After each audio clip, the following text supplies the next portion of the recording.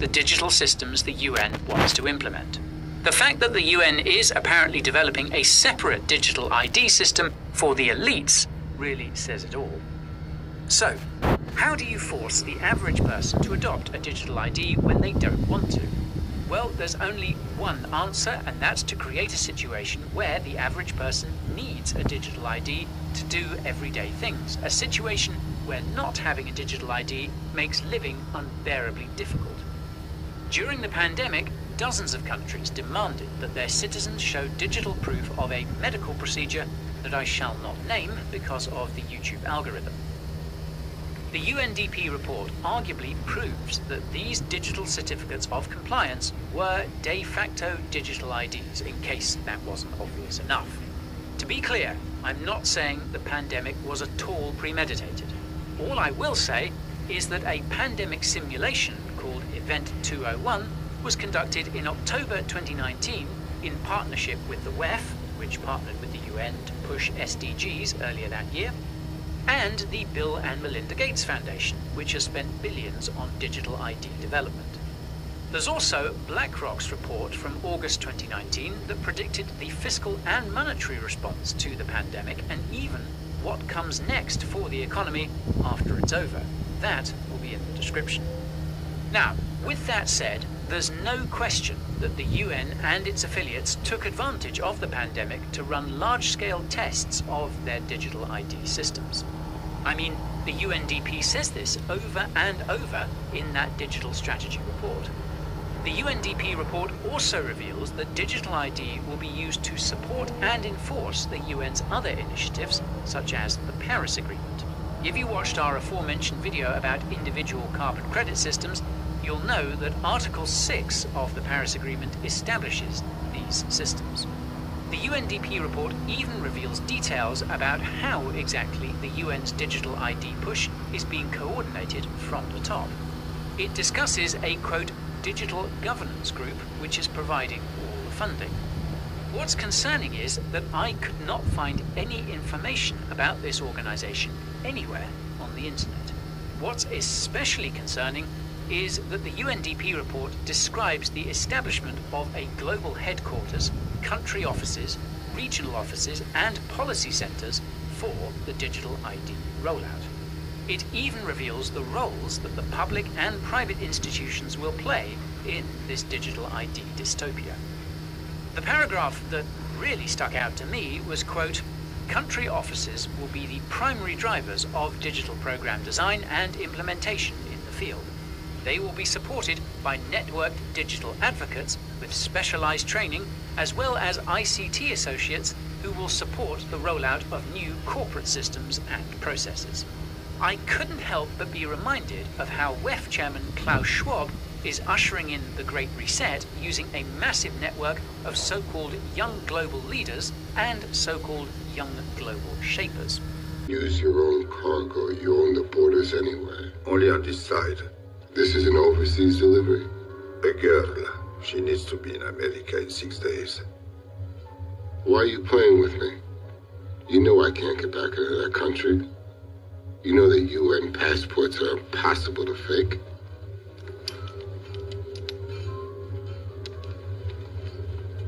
This is not a fake. Injected in your neck when you pass the official border. This is your new life. Clean credit. John Doe.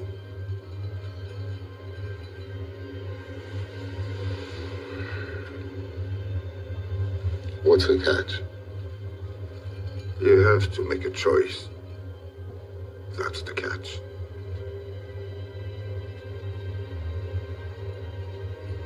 I'll do it for half a mil.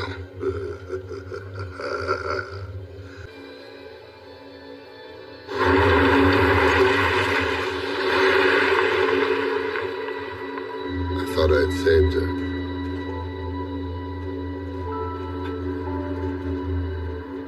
But I was wrong. The Iron and Clay Kingdom, the Nephilim will return. As in the days of Noah, Matthew 24 37. As it was in the days of Noah, so it will be at the coming of the Son of Man. as it was back then in Noah's day, so things will be again, as scripture says. Ecclesiastes 1 9. What has been will be again. What has been done will be done again. There is nothing new under the sun. So Jesus said in Matthew 24 37, as it was in the days of Noah, so it will be at the coming of the Son of Man. And what was it like in the days of Noah? Well, giants, Nephilim, were on the earth in those days, and not only giants, but the fallen ones, fallen angels who mated with earthly women. Uh, let me read that Genesis 6 1 to 8. When human beings began to increase in number on the earth, and daughters were born to them, the sons of God saw that the daughters of humans were beautiful, and they married any of them they chose. Then the Lord said, My spirit will not contend with humans forever for they are mortal. Their days will be a 120 years. The Nephilim were on the earth in those days, and also afterward, when the sons of God went to the daughters of humans and had children with them. They were the heroes of old, men of renown. The Lord saw how great the wickedness of the human race had become on the earth, and that every inclination of the thoughts of the human heart was only evil all the time. The Lord regretted that he made human beings on the earth, and his heart was deeply troubled. So the Lord said, I will wipe from the face of the earth the human race I've created, and with them the animals, the birds, and the creatures that move along the ground. For I regret that I've made them. But Noah found favor in the eyes of the Lord. So when Jesus comes to the earth, at his coming, it states clearly in Scripture, it will be as it was in the days of Noah. In Daniel, it also speaks of the final kingdom, the kingdom of iron and clay. Daniel 2:43. And just as you saw the iron mixed with clay, so the people will mix with one another, but they shall not hold together, as iron does not mix with clay. Clay, humans. Isaiah 64 8. But now, O Lord, you are our Father, we are the clay, and you are our potter the work of your hands. Job 10:8 Your hands fashioned me and made me, and now you have destroyed me altogether. Remember that you have made me like clay. Isaiah 29:16 You turn things upside down. Shall the potter be regarded as the clay, that the thing made should say to the maker, He did not make me, or the thing formed say of him who formed it, He has no understanding. So who is the iron? I believe it to be as in the days of Noah, the fallen ones, as this scripture backs this up also, Daniel 2:43. And whereas thou sawest iron mixed with miry clay, they shall mingle themselves with the seed of men, but they shall not cleave one to another, even as iron is not mixed with clay. Who are the they?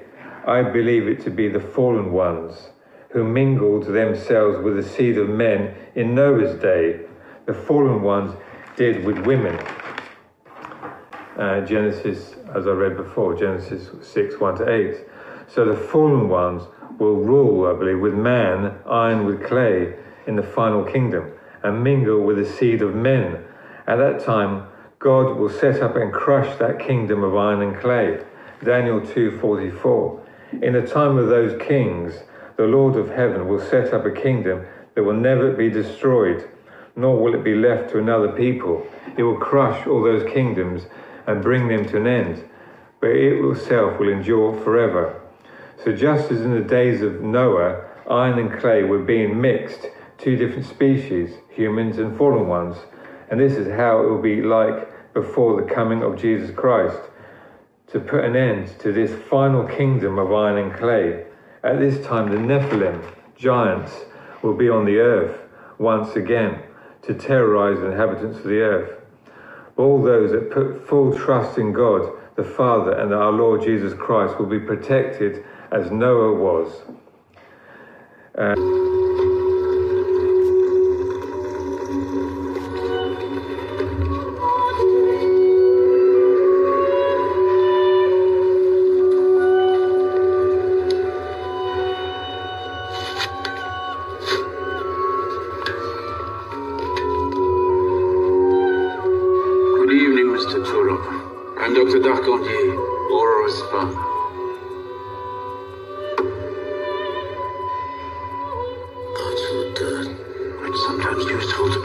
It allows one a second chance. You'll see. Oh, yes. You were clinically dead for two hours. I fixed you up as best I could. We lost quite a bit of time getting you from the morgue, and then you went into a coma for five days. Now, Mr. Toorop, I believe I owe you some explanation. You see, 20 years ago, I was drummed out of the medical profession for trying to implant human babies with artificial intelligence. Around that time, the No came to me with an unusual offer. They wanted me to do exactly what the rest of the world was scared of, that is, to create a supernatural human being with a complete knowledge of the world imprinted in her memory. So, I built a supercomputer to be Aurora's artificial mother. As a fetus, Aurora learned to process information, just like a computer. When she was born, much more than just an experiment, you see. She became. She became my daughter. She was beautiful, she was unique, and I couldn't bring myself to give her away, so that's when they hired Gorsky to kill me. Well, they almost succeeded. They took my baby away. I searched for her for years. I couldn't find her. I knew that one day the Noelites would have to present the miracle to the rest of the world.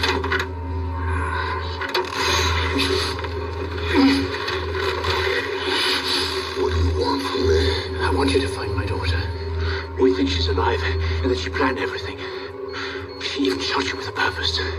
You see, you died with your eyes open. But your brain recorded more than you can actually remember.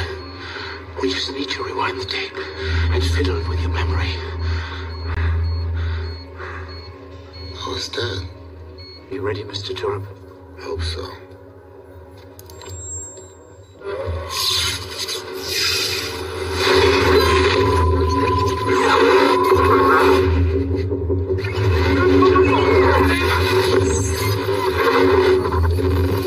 fast forward.